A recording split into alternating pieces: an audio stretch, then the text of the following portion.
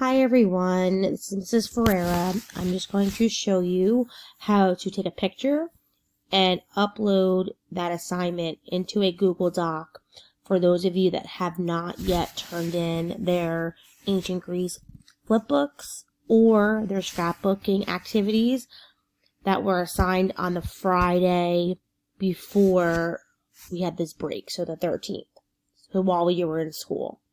Okay, so how to take a picture and upload that assignment into your Google Doc. You are going to go up to the Insert tab here. And you're going to select the first option, this image. And if you go all the way to the right, it will show you different choices. You can upload them from your computer, from your drive, or you could take a picture if you have a device that has a camera option for you. So I'm going to take it from my drive as if I emailed it to myself, let's say. Then your drive will show up on the right side here.